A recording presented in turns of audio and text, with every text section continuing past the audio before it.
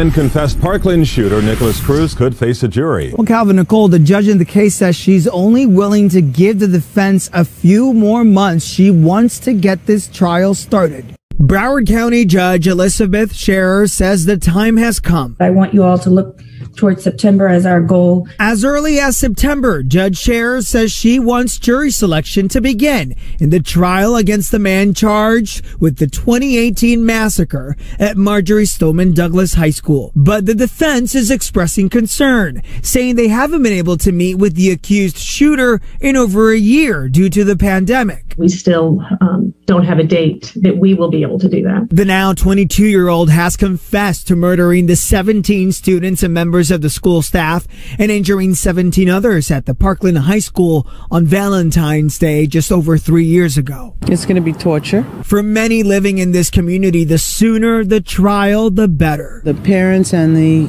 the community, we need to put this to rest. Lori Alhadeff, whose daughter was killed in the mass tragedy, sent Local 10 News a statement saying in part, this trial is long overdue.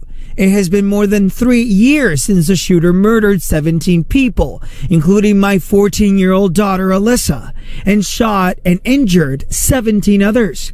Our heartache has not lessened, and we continue to feel the horrible pain of losing our loved ones every second of every day.